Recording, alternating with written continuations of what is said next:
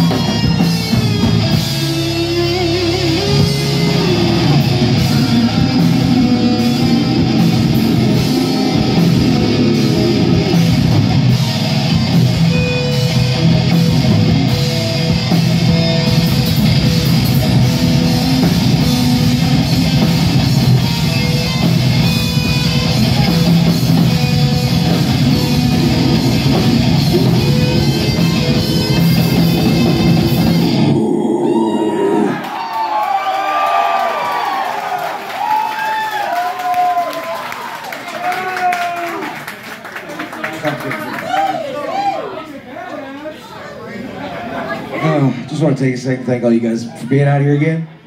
I gotta go try and talk to the folks for a second.